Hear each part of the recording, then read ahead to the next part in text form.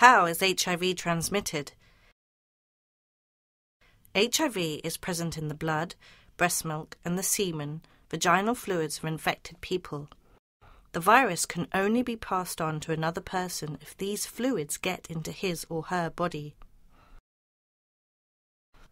The ways HIV can be transmitted are sex without a condom, sharing infected needles, syringes, or other injecting drug equipment from an HIV positive mother to her baby during pregnancy, birth, or breastfeeding.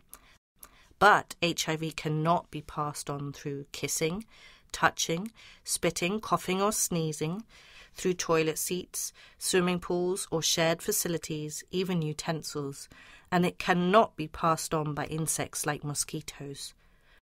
No ifs, no buts, no maybes.